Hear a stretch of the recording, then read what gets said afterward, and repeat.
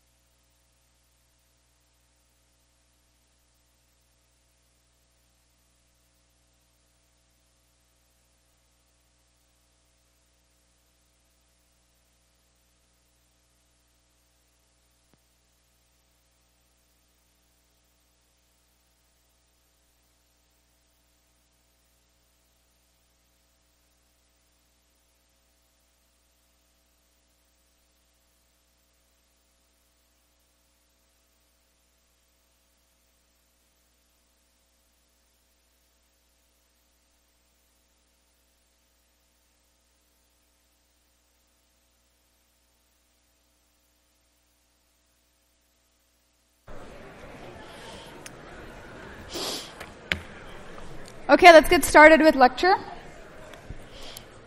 It's good to see some faces that I didn't see for a while in the audience, so good. Even if you missed a couple of lectures, make sure you come back.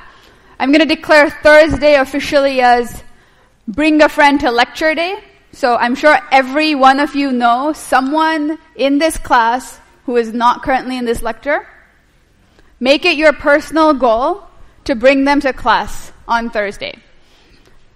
Um, I think the 61A midterm was just done yesterday night. Give yourselves a hand. So now you have all of the time until October 1st to work on the 16A midterm. um, okay, with that, um, some other announcements. I know there's been some confusion about rooms for office hours. I'm sorry about that. There were some double bookings. Today, my office hours will be right after class in 144 MA. Um, after that, they will largely be in 212 Cory with some exceptions when there's other bookings and uh, the website ha- calendar has been updated. So in case you cannot find the office hours, please check the website. You're also welcome to bring a friend to office hours. Um, okay, other reminders. Homework 2 self grades are due uh, today. So, um, what's the thing with the resubmission? So, you have to, I thought they have to grade your homework before you do the resubmission. Okay, there was a question about resubmissions, so let me quickly answer that. You are allowed, if you want to resubmit your homework for partial credit because you know maybe you didn't, you weren't able to do some part of the problem and you want to be able to recover that credit after learning how this problem actually works from the solutions. You can also do that today. You will have to submit your self-grade, your resubmitted homework, as well as your uh, resubmitted self-grades. They will all be due tonight. I will take other questions on this after lecture, just because I need to get through a bunch of stuff, okay? Mm-hmm. Um, homework three is released. Uh, it will be due on Friday at midnight. Homework three has an interesting part to it. Homework three has a problem that says, make your own problem. How many people have seen this? So, one of the things that we keep hearing in this class is like, oh, you know, there's this, like, we learned about a cool tomography ap- application, that's great, but do you think these ideas could be applied to insert your favorite topic here? And this is an opportunity for all of you to kind of engage those creative juices. We have in the past used ideas from student submitted homework problems and sometimes even the problem itself to actually make problems for the next uh, for the next class. We've used these ideas in midterm problems. So in case you submit a cool idea, in case you have a really nice problem, you have a really great advantage on that midterm. Because who knows, that problem might be the problem that actually shows up on the midterm. So the reason that we have something like a make your own problem, homework problem in the, in the homework is because really we see this as something where you get to learn not just by doing things that we tell you to do, but also doing things that you think are important and you think are interesting. We don't want you to limit yourself to learning only the exact same things we talk about in lecture and in homework and in discussion.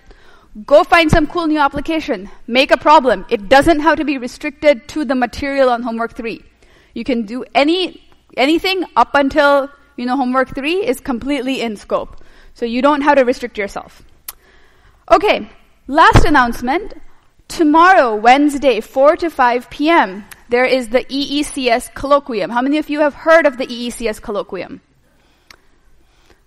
This is a talk that happens every Wednesday, 4 to 5 in the department. Um, and it's on a variety of topics. Tomorrow's talk, I thought, would be something that would be particularly interesting to many of you.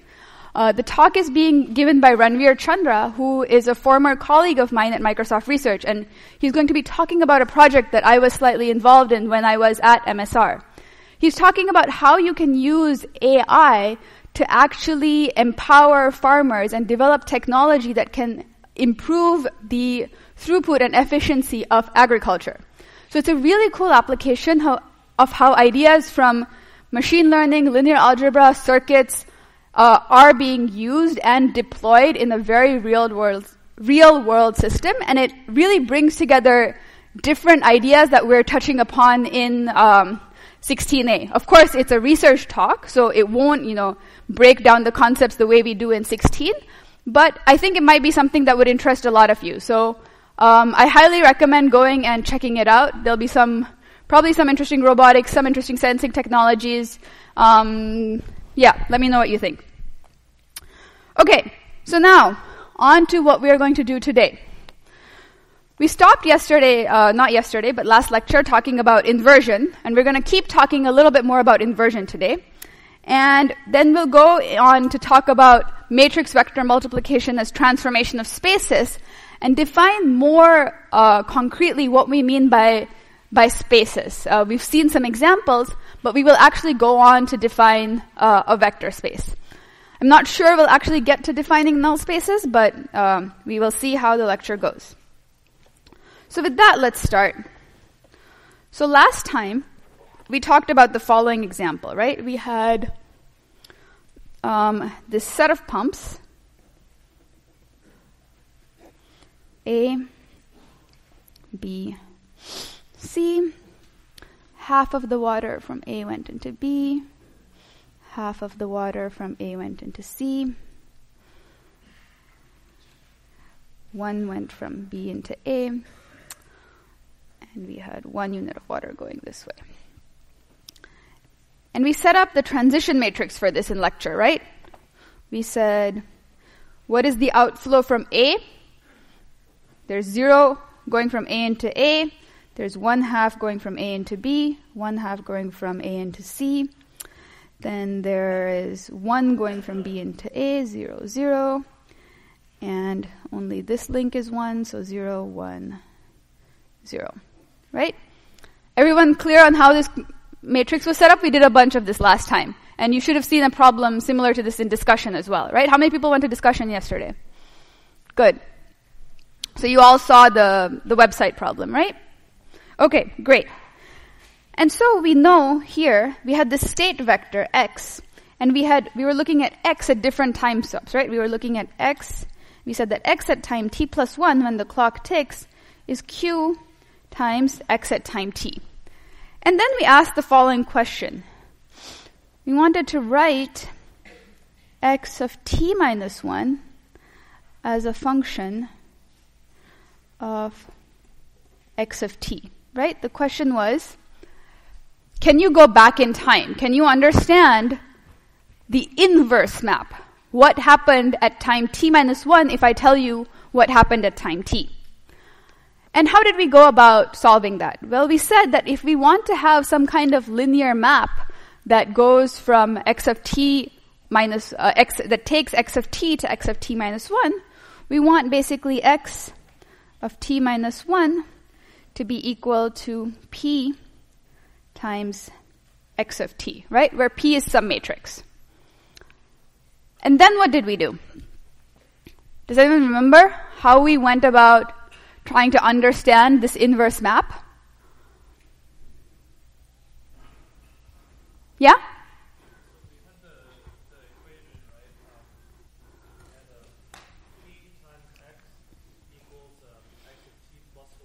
Mm-hmm.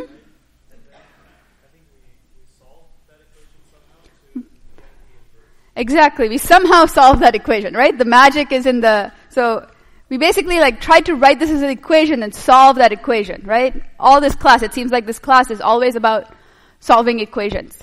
Just as a reminder, um, there's a no tech policy in class unless you have an exception.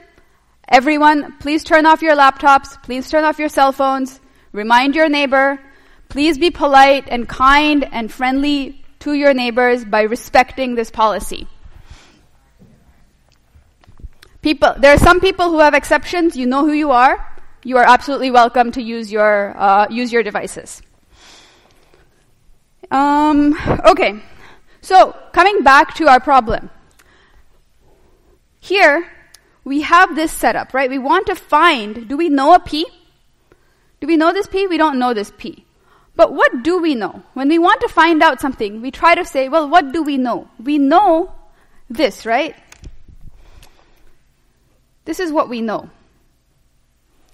And if we know x of t plus 1 is q times x of t, what can we say about t minus 1 and t? Right? Can we use this to write an equation about that? So we can say that x of t, so instead of t minus 1, I'm writing t here, is q times, what should I write here? t minus 1.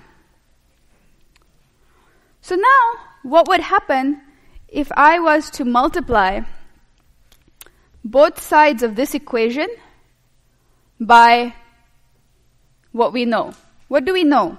We know that if I take x of t minus 1 and multiply it by q, what do I get? So if I multiply this by q, what am I going to get? x of t. And so if I multiply this by q here, I have to get this equation, right? I get x of t is equal to q times p times x of t. And so if I have this setup, what does q times p have to be for this equation to be true? It has to be one, right? That's that, but, but now we're talking about matrices and vectors. So what is the parallel to one in the matrix world? The identity matrix, right? So does everyone see why to have an inverse map we need Q times P to be the identity matrix? This is important. Like, I don't, I really don't want you guys to just memorize that this should be true. I want you to see why this should be true. That's why I'm doing this again. I know we went really fast at the end of class last time, but this is really important. Does everyone understand what I'm trying to say? Good. So we have Q times P equal to the identity matrix. And remember, the identity matrix is a matrix with ones on the diagonal and zeros everywhere else. When I write something like this, I mean I'm going to fill in all this area with zeros and all this area with zeros, and ones are only going to be along the diagonal. And then, here we defined the inverse of Q, right? So we defined inverse of Q as a matrix P such that P times Q is equal to Q times P equal to identity. Right? Everyone remember we did this at the last uh, at the end of class last time? And then we did the magic step of we somehow solved for P, right? Somehow we decided, well, this is enough for us to figure out what P is. So what did we do?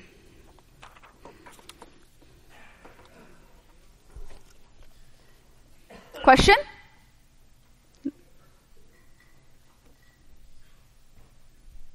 No, okay.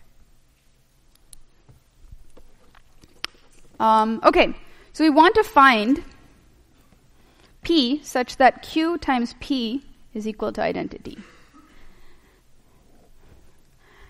And what is this Q? So we know that Q is 0, 1 half, 1 half, 1, 0, 0, 0, 1, 0. And let's try and write out some generic P, right? We don't know what P is, so we've been talking about knowns and unknowns a lot in this class. So what are our unknowns? The elements of P, right? So we have basically P11, P12, P13, P21, P22, P23, P31, P32, P33. And we want this to be equal to the identity matrix.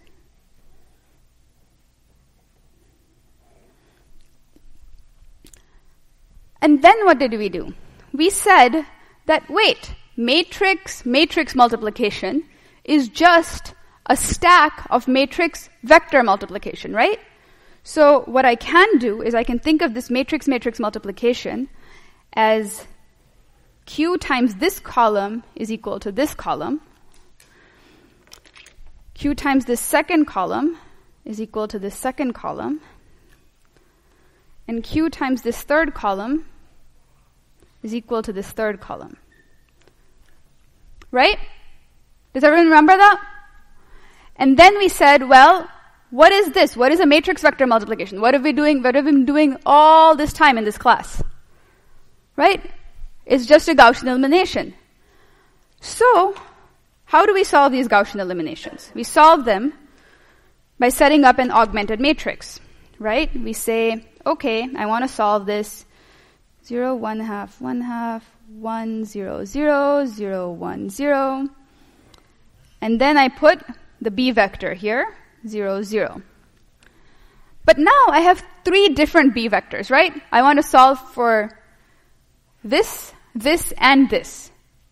So we said that instead of doing this three times, we can actually do it in one shot. And so we're going to write all three of these all in one go.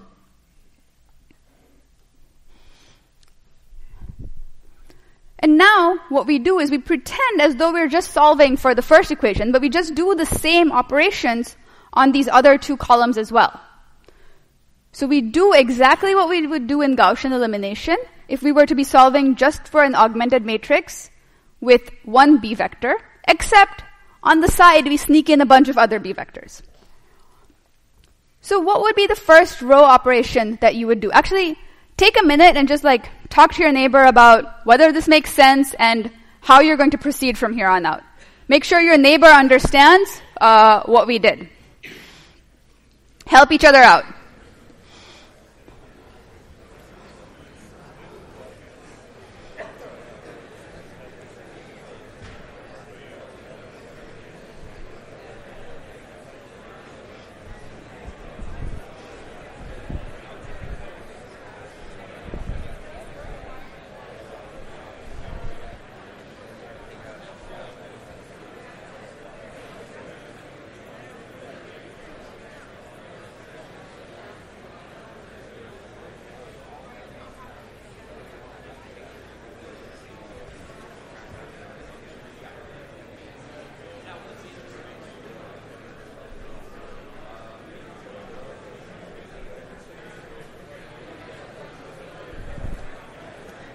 How are you going to solve this system, right?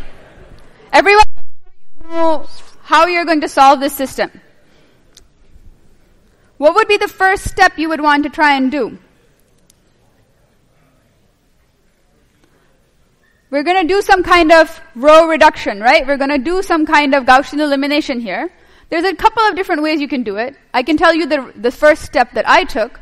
I said, I like it when there's a 1 up here. So I said, let's swap row 2 for row 1. And I got 0, 1, 0. Oops. Nope, that did not work out. What should I do? What should I get here if I swap row 2 for row 1? Should get row 2 here, right? So what should this be? This should be 1 half, 0, 1 zero, one, zero. I should have zero, one, zero, one, zero, zero, one half, zero, zero, zero, zero, one. Does everyone see how I got this augmented matrix from this augmented matrix? Are there any questions about this? I just swapped these, right? Okay. Now what am I going to do? Um, what do we want to try and do when we're doing Gaussian elimination? What is the thing that is sticking out at us that we want to get rid of? It's this guy, right? Everyone with me? So how do we get rid of this guy? What row operation do we want to do? Row 3 minus row 1. So I have 1 half, 0, 1, 0, 1, 0, 0, 1, 0, 1, 0, 0.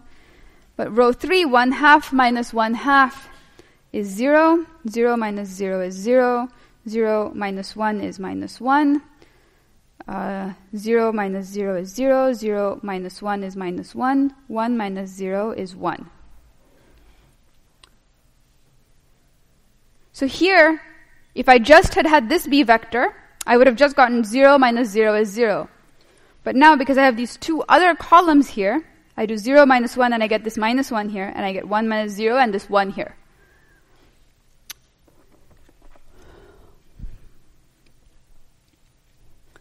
Okay, what's the next step? If now I want to, so now what do we have? We have the form that we like, right? What is this form? We have this upper triangular form. But we're going to go a little bit further. We're going to actually go to the point where we can not just back substitute to find out the values, but we can actually just read off the values. So for that, I'm going to try and make it so that there's ones only on the diagonal and nowhere else. So what does that mean? If I have one, one, one, so if I have like, if I had a, as an aside, if I had an augmented matrix, that look like this.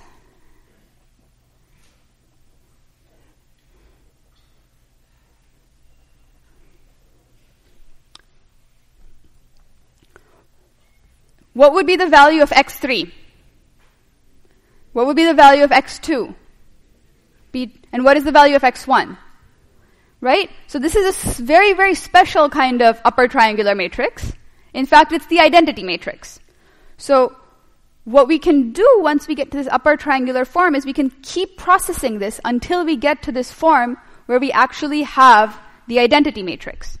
So to do that, what we're going to do is we're going to say, okay, let's take row 3 and multiply it by minus 1. So I get 1 half, 0, 1, 0, 1, 0, 0, 1, 0, 1, 0, 0, 0, 0, 1. So I multiply by minus 1, so I get a 0 times minus 1 is here. What do I, is 0. What do I get here? 1, negative 1. Great.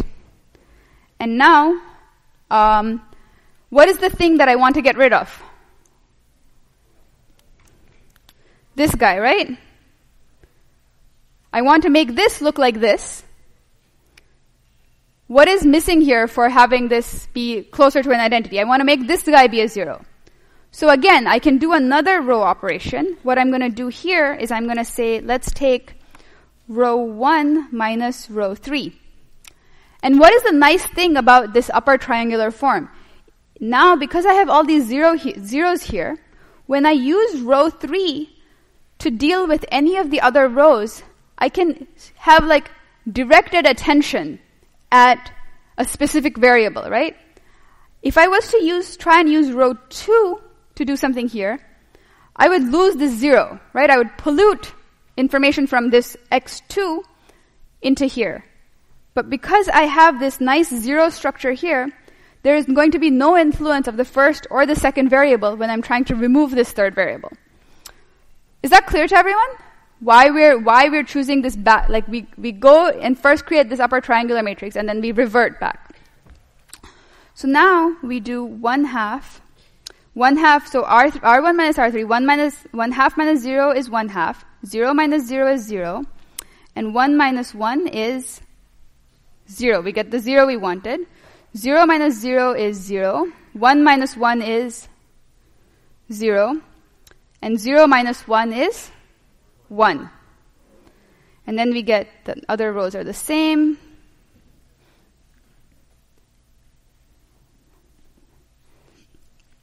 Okay, and what's the last step we need to do to make this look like the identity matrix?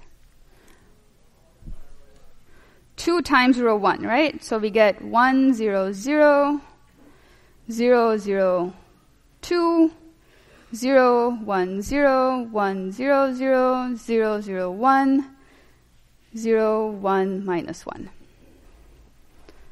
So at this point, we've done so much algebra, that you've forgotten where we started.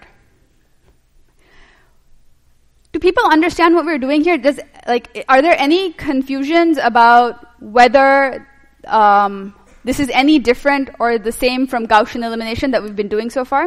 Does everyone see that it's the same thing? It's the same process.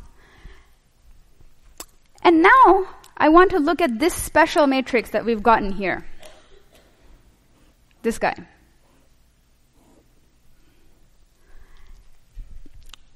And remember, in this particular setup, when we had just one column vector on the right hand side, what did we had? We knew that the first variable must be b1, the second variable must be b2, the third variable must be b3. We were trying to solve for these three column vectors, right? So now that we have this matrix, what can we say is our P matrix? Our P matrix must be exactly this guy, right? We had P11, P12, P13, P21, P22, P23, P31, P32, P33. So what is the value of P11?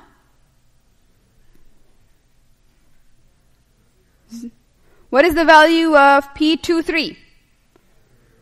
What is the value of P32? Does everyone see where this parallel is coming from? I'm like, I don't get a sense that you guys are all on the same page as me. Does anyone have a question? Do you want to take a minute to like talk and see if you have a question? Yes, question.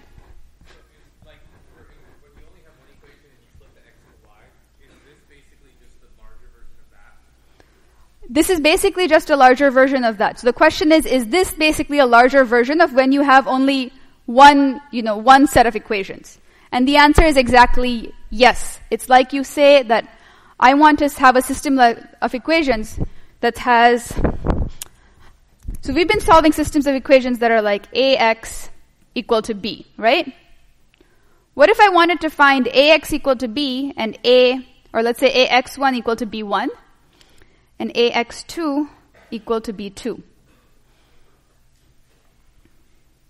If I wanted to find x1 and x2, instead of having to solve these two equations twice, I can write this as a x1, where this is the first column, x2, this is the second column, is equal to b1, b2, where these are columns. So I can rewrite this as this. And that's exactly what we've done here. It's a good question. If you're confused about something, probably someone else is too. So ask questions. We will get to that question in like five to ten minutes. The question was, how does this connect to linear dependence? And that is exactly what you're going to find out in this lecture. Yeah. Can you have more than one inverse? Great question. We're going to get to that as well. Just give me five minutes. Question.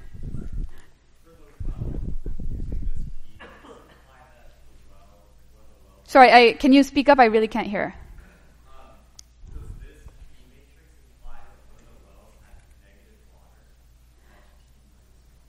So the question is, does this P matrix imply that one of the wells had negative water at minus one?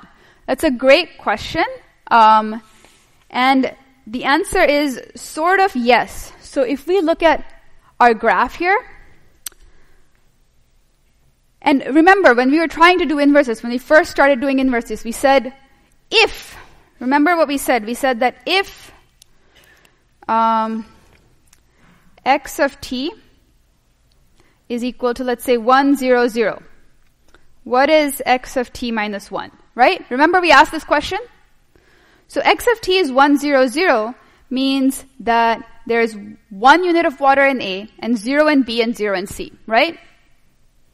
So what that means is then um, if there's one unit of water in A at the current time and no water in B and C at the current time, where did the water in A come from? There's one unit here. How can water come into A? From B, right? So that means that x at time t minus 1 must have been 0, 1, 0. Right? We did this example. So now, what about the following case? What if x of t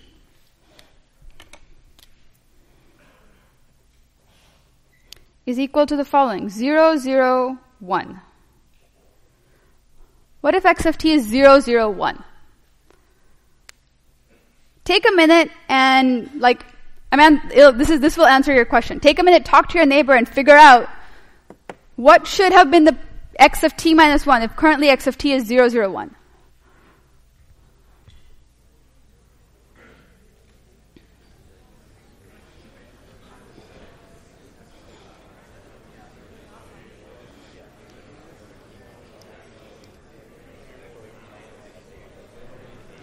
Make sure everyone has someone to talk to. Don't make people feel left out.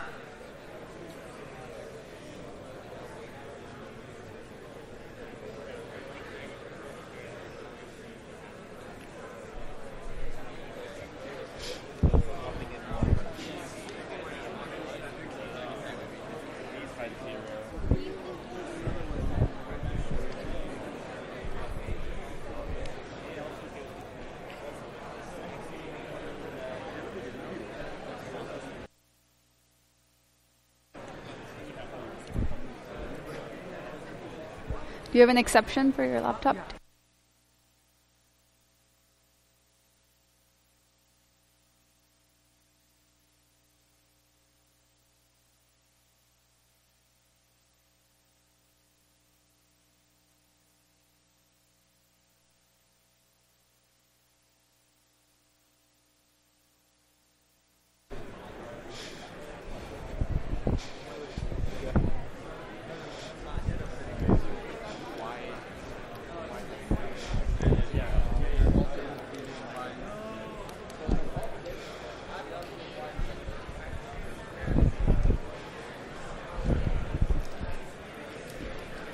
Okay, how many people think they can figure out? How many people need a hint? How many people are done? So people don't need a hint and they're not done. High hands, high hands. How many people are done? Okay, I won't call on you. How many people? Okay, how many people need a little bit more time? Okay, 30 seconds.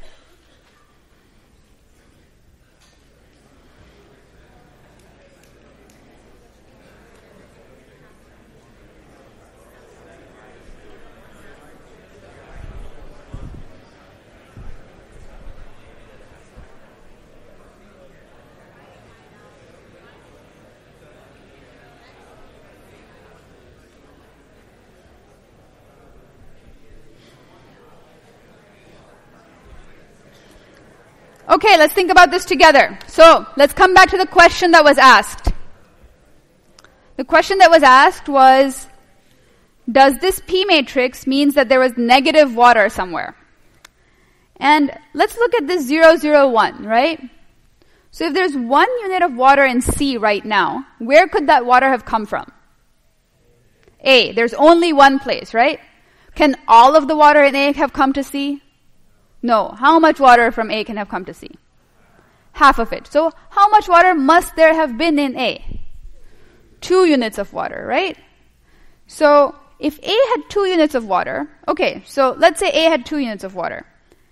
Notice what we have here. And then the clock ticks. Where is that two units of water going to go?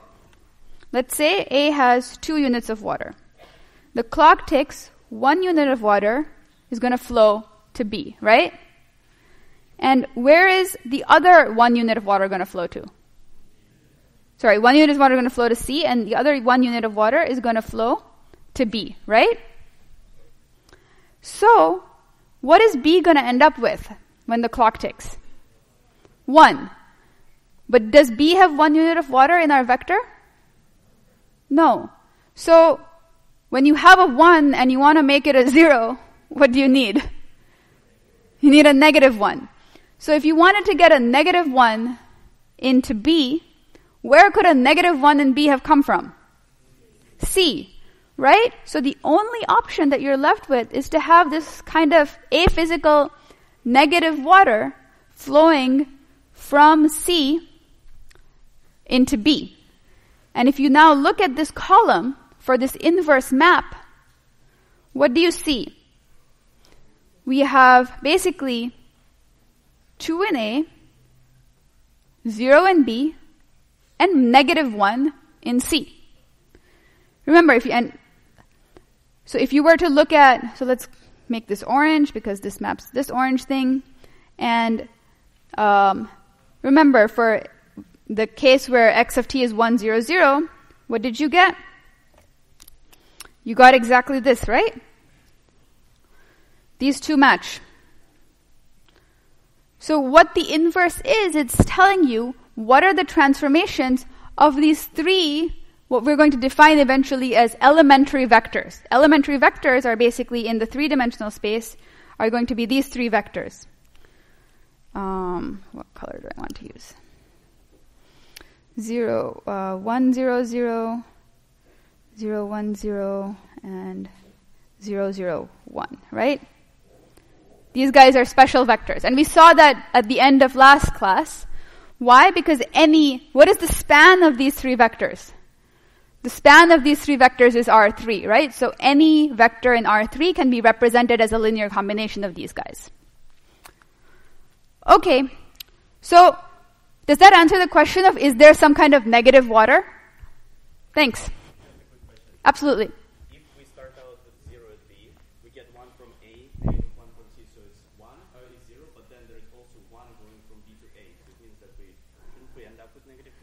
So if we start out with negative 1 at B, yes, but we're starting out with negative 1 at C. No, no, no. If we start out with 0 at B. If we start out with 0 at B. At, as time clicks, we have plus 1 from A, minus 1 from C, so it gives 0, but then from B also 1 goes to A. Right, but B, how much? 1 times, so 1 times the amount of water in B, right? So, let's say, so the question is, What about this arrow, right? The question is, what about this link between A and B? So what are we saying? We're saying that, okay, this is a bit messy, but hopefully you can understand because you guys are asking good questions. x of t minus 1 is, we said, 2, 0, minus 1. And the question is, what about the water flowing from B into A? What is the amount of water in B currently? Zero. When the clock ticks, fraction 1 of the water in B flows into A. So when I say this 1, I don't mean 1 unit. If there isn't any water in B, no water is going to flow. 1 times 0 will flow into A. So because there's 0 in B, nothing is going to get added into A. If A has 2 units, 2 times half gives me 1, which is going to flow into, into B. So what these are, arrows are representing is they're representing the fraction of water that is flowing, not the units of water that are flowing, right? Does that clarify the question? Okay, great. Good question. Question at the back. What is the physical interpretation of negative one uh, water? So this is a great question, and this is something that you will start learning more about when we get into the circuits module. And the reason that we have this set up, this problem set up, is because that there is um, a connection that you will see. But for many physical quantities, you can actually have a positive amount of that quantity or a negative amount of that quantity. We're starting with the simple model, and water is easy to think about. Um, so we're starting there. Um, you could think about it as there's a baseline reservoir, and then you have a drought, and water goes below that baseline. It's one way to think about negative water. Um, but you will be starting to think about things like positive charges and negative charges um, soon as we get into module two. This is a simplified model for other uh, things that you will come to in the class, which will actually have concrete physical interpretations for positivity and negativity. One obvious example is power, which is also something that we can think about in these forms. Question the back.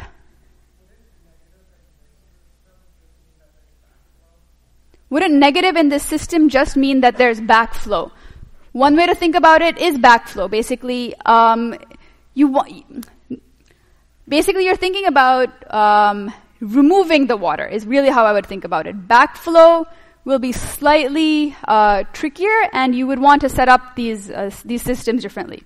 So I would recommend trying not to think about it as backflow and trying to think about it really as removing water. Okay, other questions? Okay, yes.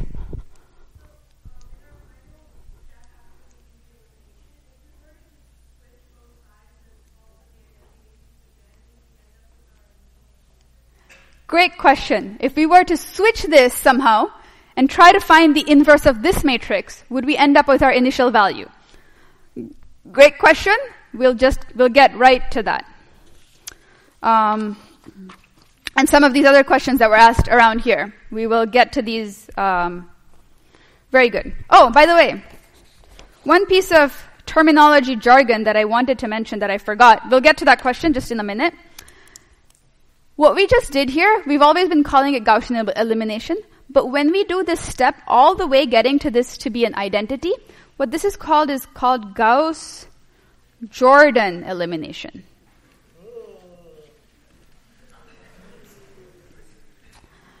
Gauss-Jordan elimination is just the slight difference between going, like when we go just to upper triangular form, we call this Gaussian elimination.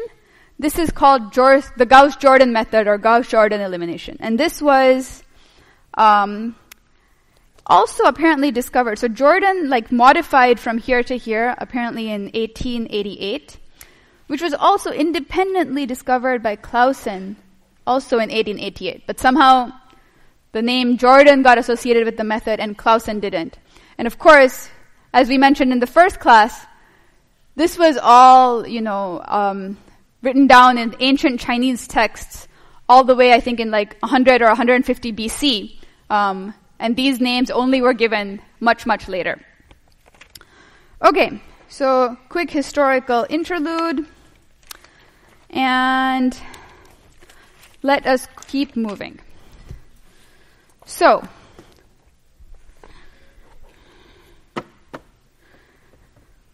we have now found a matrix Q, uh, matrix P, so- sorry, such that Q times P is equal to identity. And remember we saw that matrix multiplication does not commute, right? So in general, P times Q does not equal to uh, Q times P. But remember, when we defined this here, we said that for inversion, we have P times Q equal to Q times P equal to identity. And why are we allowed to do that? And so, to answer this question, we're going to get to the following theorem. Theorem which says that the left inverse, I N V E R S E, is the same as the right inverse. And so, what am I saying here? Let us say Q times P equal to identity.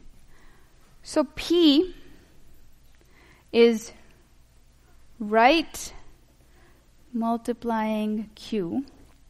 Q is left multiplying P. Right? Q is on the left side, so we call it left multiplication. P is on the right side, so we call it right multiplication. Right? There's really nothing um, fancy happening here. It's just names. But now say, so we know that this is true. So let's say P is um, the inverse on the right side.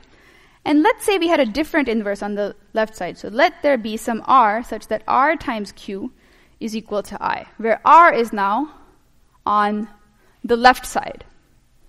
Right? So now, what can I do in this case? So I know this, so we can write this as a proof. Let's say there is some R. The question is, is R equal to P? Or is it not equal to P? Well, what can I do? I can take R times Q and I can multiply it on the right by P, right?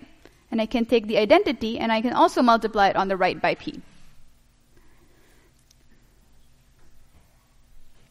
So, what do I get? I know that matrix multiplication is associative, so I can write this as R times QP is equal to what is identity times P? Just P. And what is Q times P? It's just the identity. So we have R times identity equal to P, which implies that R is equal to P.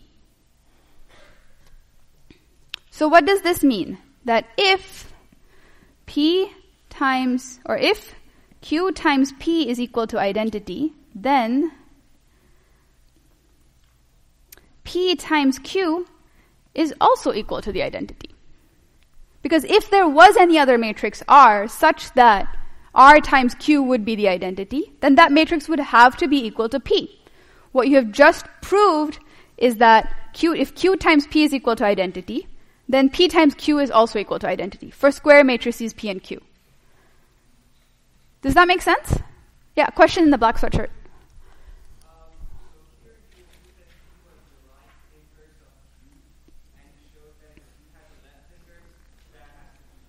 Mm-hmm.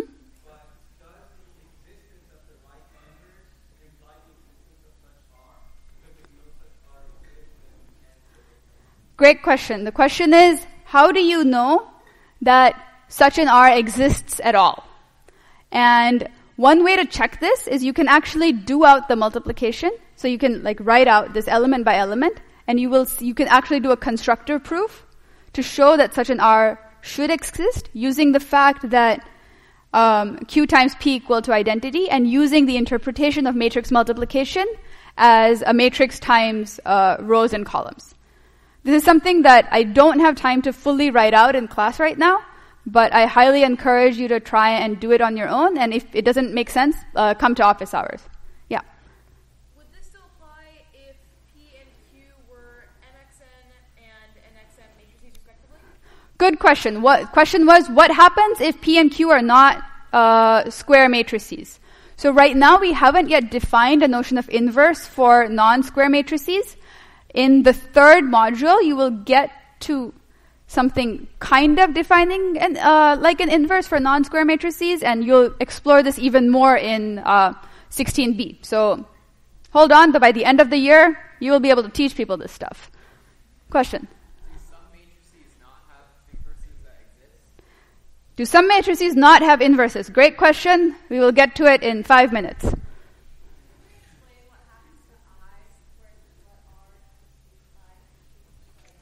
Oh, so I said let R times Q is I, and then I multiplied on both sides by P. And so I times P is like when I multiply something by the identity transform. Remember when we had the identity transform pumps? You ran the pumps and you just got out the same state. So if I do the identity transform on the matrix P, I just get out P again. That's all that happened to the I. Does that answer the question?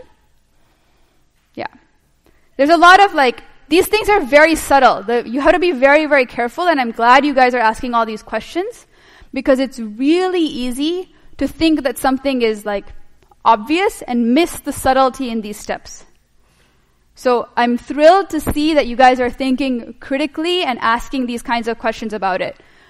They're bound to come up more and more. Please come to office hours. Please reach out to us in homework party so that you can actually um, resolve these. But I want to move on now and have a second theorem that says not only is the left inverse equal to the right inverse, but also that the matrix inverse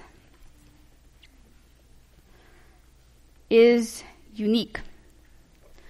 And for this, I'm going to say if there was P1 such that um, P1 times Q is equal to Q times P1 equal to identity, and P2 such that P2 times Q is equal to Q times P2 is equal to identity. What I want to prove that there's only one inverse. I cannot have two inverses. So, I want to say that in this situation, P1 must be equal to P2. And how am I going to say that? I'm going to say basically that let's consider P1 times Q. And again, I'm going to do the same trick I did here. I'm going to multiply again by P. I'm going to consider this guy. So, what is Q times P?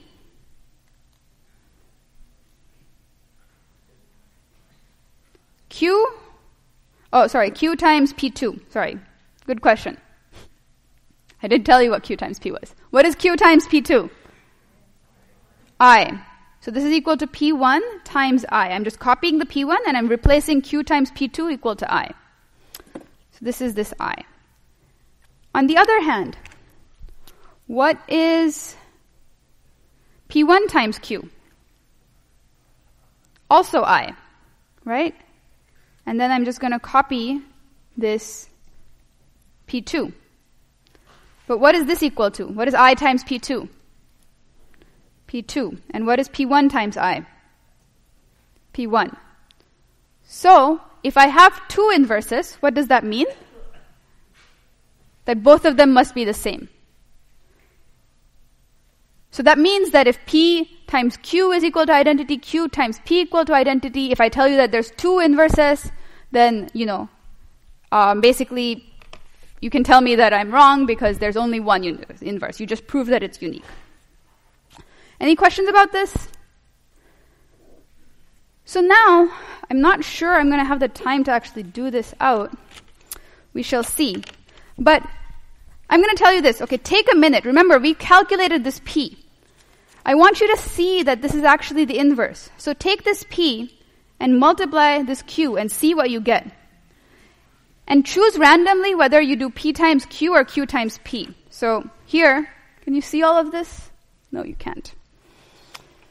Okay, I'll just rewrite this out. 1, 0, 0, and 0, 1, 0. This is Q. And P is equal to Q inverse, we claim, is this thing, this guy. 0, 1, 0, 0, 0, 1, 2, 0, 1. Okay. And I want, okay, this side of the room, I want you to compute P times Q. Okay? This row. This side of the room, you compute Q times P. And the middle, this side, choose this, half room, choose that. Okay? Take one minute and compute these matrix products. You guys are doing one, and you guys are doing the other. Let's see which side finishes faster. I have 30 seconds.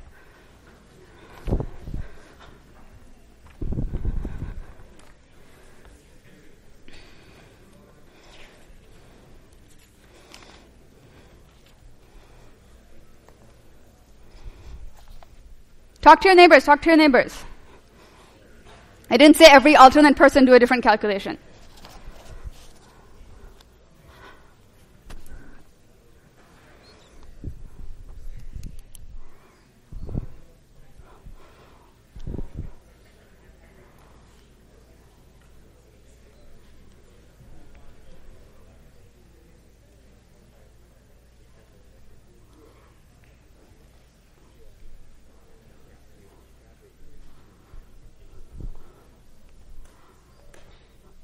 How many people are done? How many people actually wrote any number on the paper? Okay, good. How many people, like, I hope you actually did the calculation. So what is P times Q? Identity matrix. And what is Q times P? So do you see that, you know, we did this kind of weird operation and we justified it. We said that we're solving system of linear equations. We understood why we're solving the system of linear equations. But we needed to verify that what we got out in the end was actually the inverse. And do you see now why we call P the inverse of Q? Hopefully this makes it clear. And also you can see that P times Q and Q times P are both the same.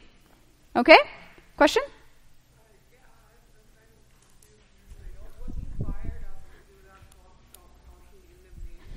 What inspired us to do that Gaussian elimination? So that was what we discussed here, right? We discussed the fact that if x of t minus 1 is equal to p times x of t, then we derived that the only such p must have the following property. Must have the property that q times p is identity. Right? Because when we multiply both sides by q here, we get x of t, and we get, if x of t is equal to q times p times x of t. The only transform that allows for that is q times p equal to identity. Does that make sense? Yeah, but in that uh, Gaussian Jordan elimination, we are we are trying to make the right side of the yeah the right side to be uh, the identity matrix. hmm Because we're trying to solve exactly this system. And that is exactly how we set up this system. Right? So if this doesn't make sense, uh, come to office hours. It is subtle. These are good questions. Keep these questions and please, please bring them to office hours where I can, you know, explain to you much more slowly and much more detail. Okay.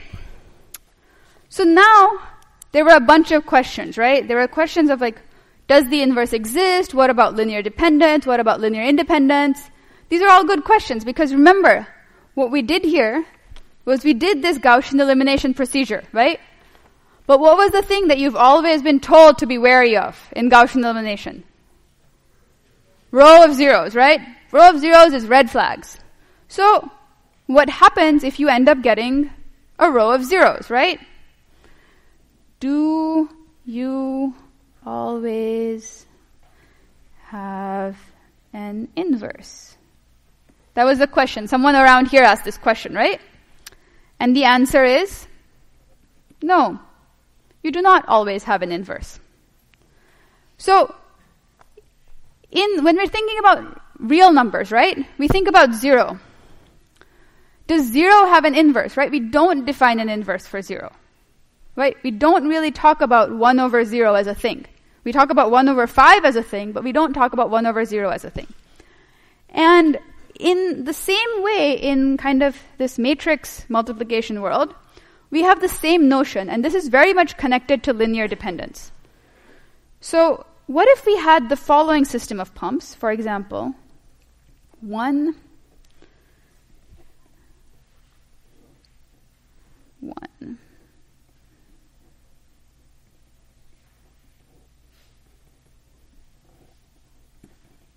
And our Q matrix was equal to the following 1, 0, 0, 1, 0, 0, 1 third, 1 third, 1 third.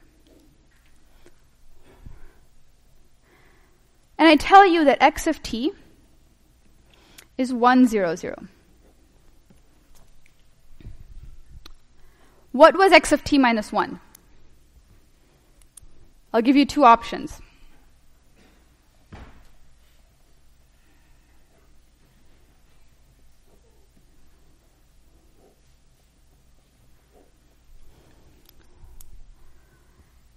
Given that what does x of t is 1, 0, 0 means all the water is currently in A.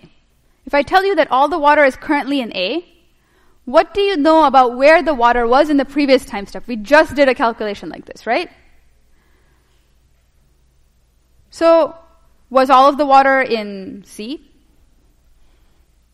Was all of the water in B? Was all of the water in A?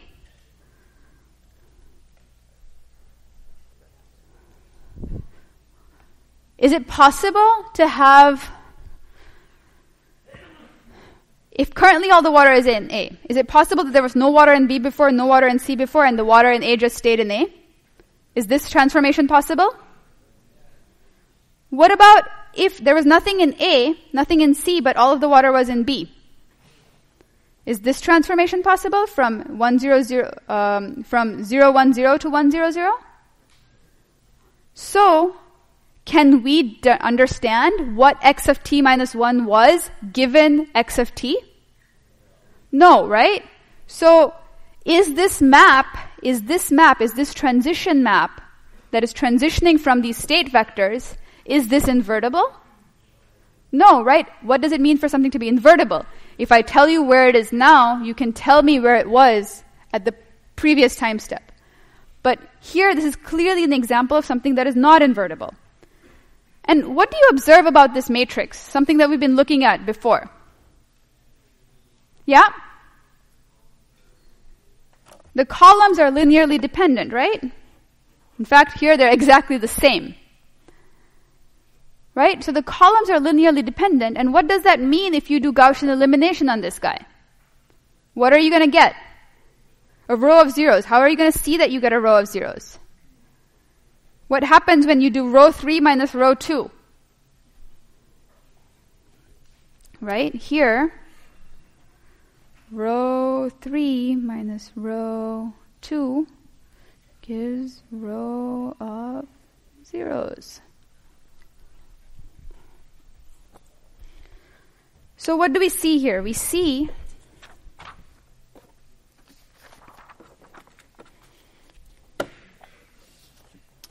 that sometimes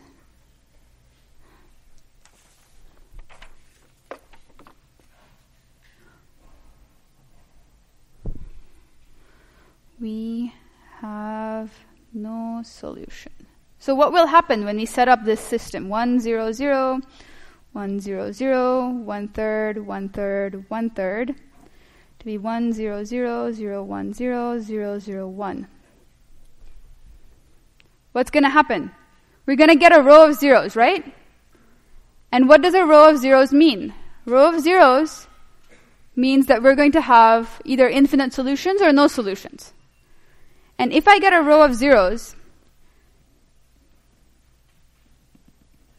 and I get a b that is not equal to 0 here, what does this mean? No solutions. But I'm guaranteed in this setup, actually, so I have to, I have to satisfy multiple equations here, right? I have to satisfy this b vector and this b vector and this b vector. And because each of these has this 1 in a different place, I'm never going to end up with this bottom row also being entirely zeros. See, the columns of this matrix on the left side are linearly dependent, right? And so we know that we're going to have this row of zeros here. The columns on the right hand side, if we just look at this matrix, are they linearly dependent? No, right? So when we do any kind of row operations on this guy, are we going to end up with a row of zeros in here? So can we get a row of zeros equal to a row of zeros? No. We will always get a row of zeros here equal to a row of not all zeros. There'll be at least one element that is not all zeros. And what that means is that means that we're going to end up in a situation where there's no solution, which means that there is no inverse for this matrix. Does that make sense? So now, this is where stuff is starting to get conceptual, and this is where you really need to be paying attention. We are now drawing on multiple lectures worth of material that you have been building up on. It might have seemed really easy up until now, but it is because now is the time to like pull out all of these tools and connect up all of the dots. Question.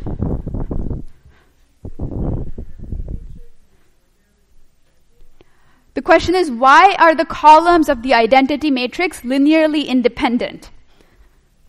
So no, these columns are linearly independent. The columns of the identity matrix are linearly independent. Sorry if that was not uh, clear. They're linearly independent. Okay? Um, if this isn't like good exercise to just go home and check if it's not clear.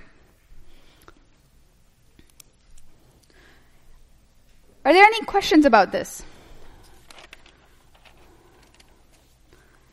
So, okay. So now I want to move to something even um, that builds on this even more. So we're going to have another claim or theorem. And we're going to say if A is an invertible matrix, then AX equal to 0 has only one unique solution, which is x equal to 0. Remember, we defined this to be the homogeneous equation? Homo-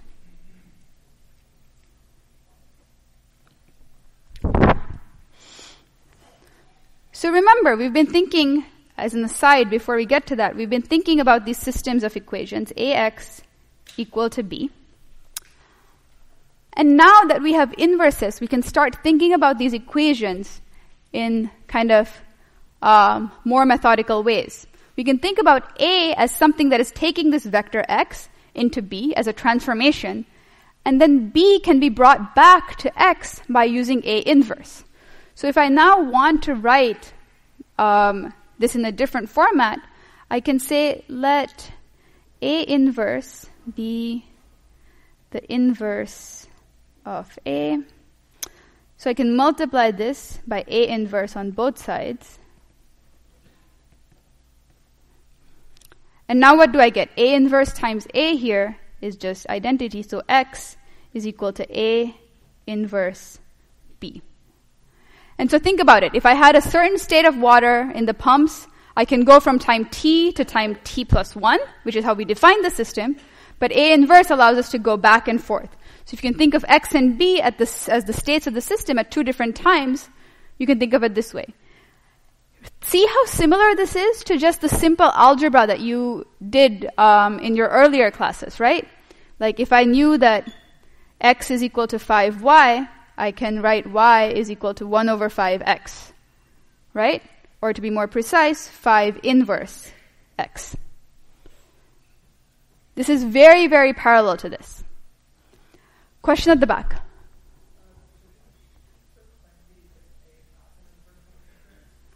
Sorry, can you speak up? I really can't hear.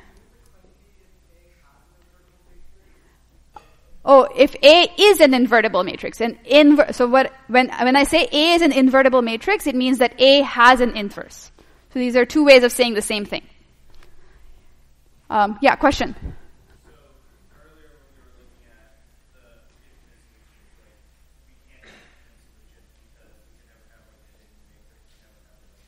Uh huh. So, so the question was, why, why, like, what happens? Why can the, so if the identity matrix cannot have a row of zeros, and let me just reinterpret your question. Tell me if I'm right. The if you have linearly dependent columns, you will get a row of zeros on the left side. You will not get a row of zeros on the right side because the columns of the, of the identity matrix are linearly independent. And so you you have a row of zeros equal to a row of non-zeros, which means no solutions, which means that there's no inverse. So, because, yeah, exactly. You cannot have infinite solutions because you have zero equal to a non-zero. Yeah. The, the system is not consistent. Okay, so this was an aside. So the claim, if A is an invertible matrix, then AX equal to zero has only one unique solution, X equal to zero. So we want to prove this, and now we want to use this setup and this notation. This is really just notation, right? This A inverse is just a notation. Instead of trying to remember P and Q as two different notations, this is just a way of keeping track of things. Like, there's nothing more here than notation. So then, um, let us say x1 is a solution to this, right? So x1 is such that a times x1 is equal to the zero vector. So now, if you want to prove that x1 must be zero, what do you feel like doing to this equation? Multiplying by a inverse, right? It's like really wanting to be multiplied. You have a inverse times a times x1, and then what you have to do on the other side? a inverse times the zero vector. And what is a inverse times a? Identity, so here we get x1, and a inverse times 0 just gives me the zero vector, right? Remember, no matter what matrix I have here, if I multiply it by a zero vector, I'm basically taking zero times the first column, zero times the second column, zero times the third column, zero times all of the columns, which always gives me zero. So a, any matrix times the zero vector is always the zero vector. And so what does this mean? This means that x1 must be zero. Right? So any solution to this equation for an invertible A, right? Why could I multiply by this A inverse? What allowed me to multiply by this A inverse? I told you that A is an invertible matrix, right? What if A was not invertible? What if A was like this weird example that we just looked at? Where did my weird example go?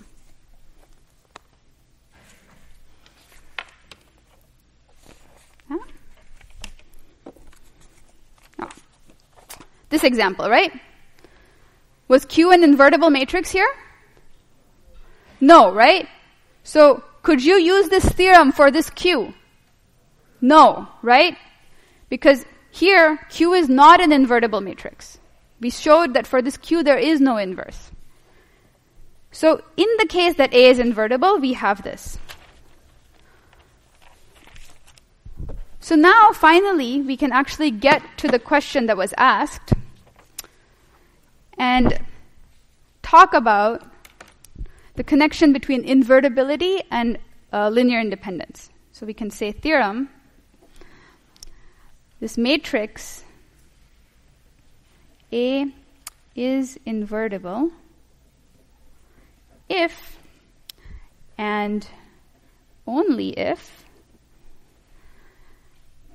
the columns of A are linearly independent.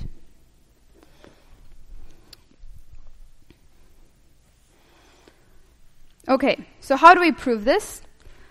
So we know first part, part one. There are two parts to this theorem. First, you have to show that if A is invertible, the columns must be linearly independent. So that means if A inverse exists, then we know that AX equal to 0 implies X equal to 0. Right? We just proved this. Right? This theorem says that if A is invertible and AX equal to 0, then X must be equal to 0. But what does this mean? What is AX? AX is a linear combination of the columns of A. Right? And so that means that if there's a linear combination of the columns of A that is equal to zero, that means that all of the weights must be exactly zero. Right? We've worked this out. I'm going fast because at this point, you need to be able to be comfortable with going back and forth between the column interpretation of matrix multiplication and the row interpretation. If this is not clear, please, please come talk to me at office hours. And so, ax equal to 0 means x equal to 0 implies that columns of A are linearly independent.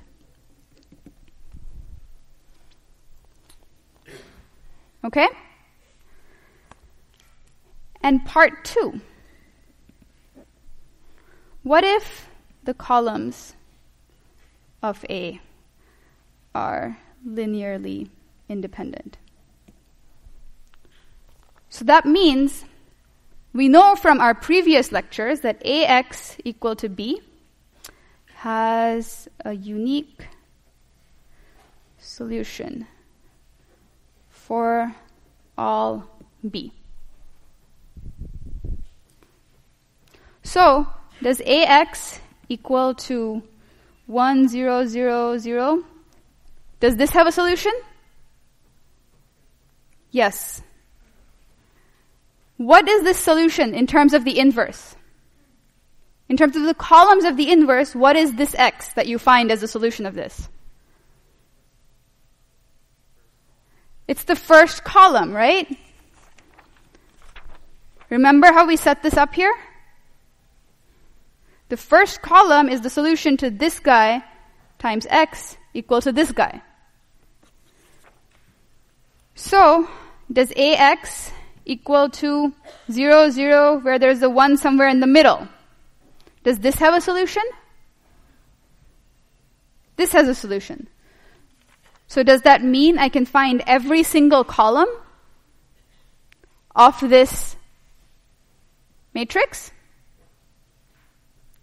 So, if I can solve this to find a solution, a value for every single one of these things, if I can actually find the inverse, what does that mean? The inverse must exist. Right? So this means that the inverse exists. So that means that A is invertible. Because the columns of A are linearly independent.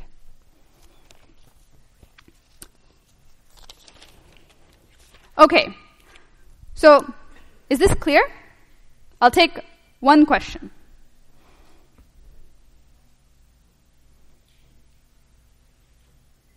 Yeah.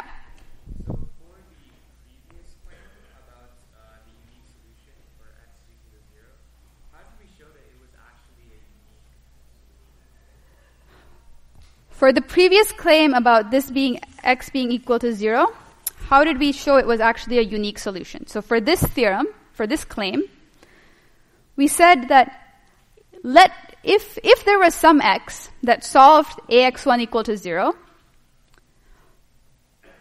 we can prove that this x must actually be equal to zero. If x1 was not equal to zero, let's say x1 was like, you know, 35, 23, 11, negative 13, it was some vector like this.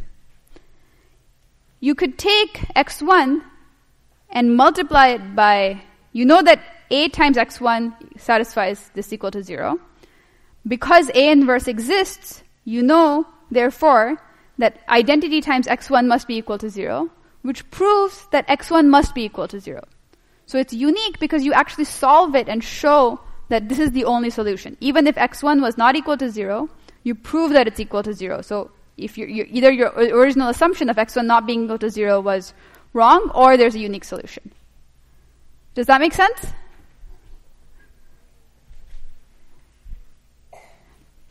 Okay. So think about this. If you have more questions, please come to office hours, talk to me.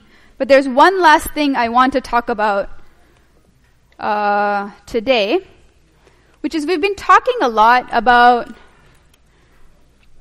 uh, these matrix vector maps as uh, transformations, right?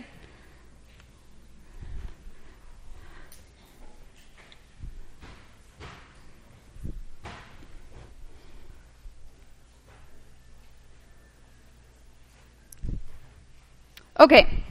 So we've been talking a lot about these pumps and we have this state and then we take the matrix and we multiply a vector by the matrix and then the vector goes from one um, one state to another. The state is represented by these vectors, right? And when we talk about vectors, we're using to rep- them to represent all different kinds of unknowns, right? They're representing, for example, the unknowns in your um, imaging lab. So in your imaging lab, the pixels are your unknowns, and they're in a they're they're stacked up in a vector. Um, in the problem where Alice was communicating to Bob, your unknown is the message, and that is stacked up into a vector. And every time we multiply a matrix, there's some transformation that is happening. And we've been talking about this, but we haven't been very precise. But to make this more precise, I want to introduce this notion of a vector space. So what is a vector space? A vector space is basically a collection of vectors such that linear combinations of these vectors are still in the same space. And this is something that you've been dealing with and thinking about for a long time in this class. We just haven't formally defined it. Um,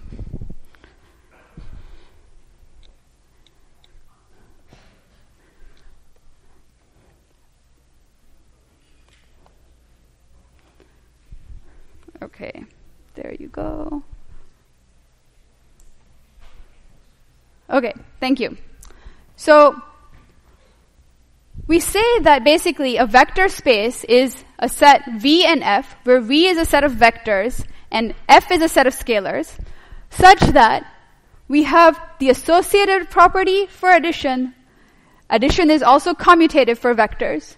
We have a notion of an additive identity. So a vector plus the zero vector is always the same vector. V plus zero is V. And the additive inverse. So there exists the notion of a negative vector.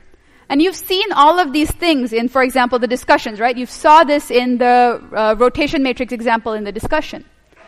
And these scalars have to satisfy some other properties. For example, they have to be associative. You have to have the multiplicative identity.